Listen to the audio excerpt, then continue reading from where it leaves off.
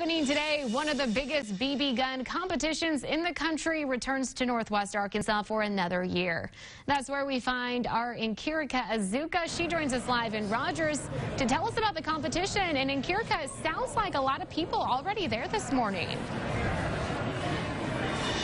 That's right, Caitlin. As you can see behind me, the 54th annual Daisy Nationals BB Gun Championship has begun, and it's actually been called the most prestigious BB gun match in the world. And this morning, I have Clyde Furr, who is a chief referee, to talk about how it earned that title. So talk about this competition and how it's been able to go for more than 50 years.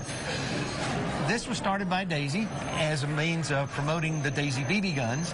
And because Daisy has worked so hard for so many years to make this the premier opportunity for children to come to a championship, it has become just exactly that.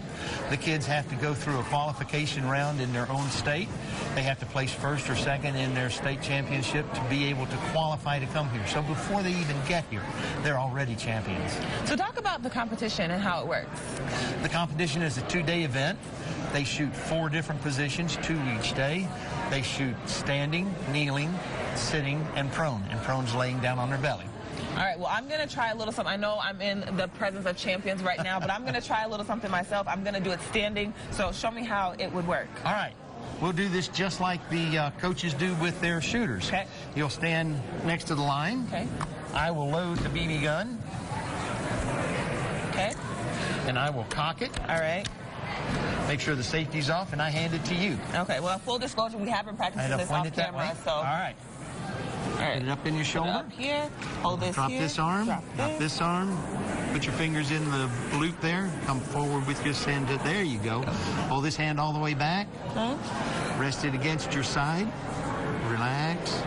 Now, when you get your sight picture, slowly and evenly pull the trigger. Gently. gently. I have hit a bullseye this morning. I'm just trying to go again. All right. Let's see how you did. Okay. Okay. I'm excited. Hopefully, I did another Oh, not quite this time.